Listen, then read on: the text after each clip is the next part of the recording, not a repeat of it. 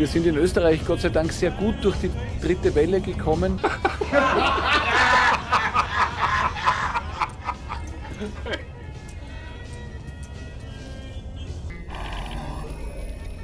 Ganz so ist es nicht. Auch,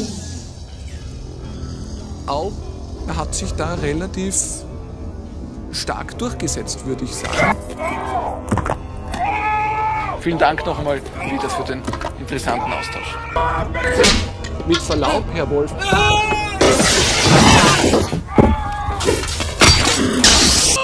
Das tut weh, sehr weh.